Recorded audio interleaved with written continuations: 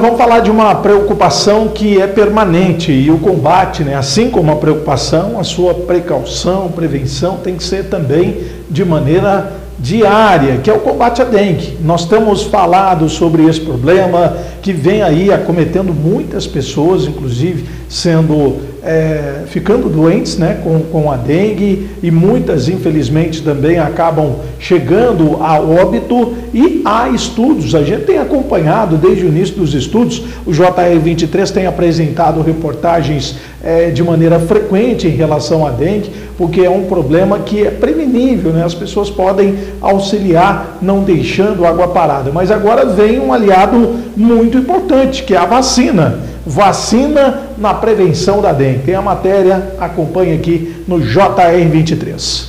O imunizante é produzido pela farmacêutica japonesa Takeda e tem o nome comercial de Kedenga. A vacina previve, previne 80% dos casos sintomáticos e mais de 90% das hospitalizações. O imunizante pode ser oferecido para crianças acima de 4 anos até adultos com 60 anos. A aplicação é em duas doses com três meses de intervalo e a proteção dura pelo menos um ano. Um detalhe importante é que a quedenga pode ser administrada tanto para quem já teve quanto para quem nunca pegou a doença. Até então, a única vacina de dengue autorizada no Brasil, que é do laboratório francês Sanofi Pasteur, só pode ser aplicada em quem já teve a doença. No ano passado, o número de mortes por complicações da dengue bateu recorde no Brasil.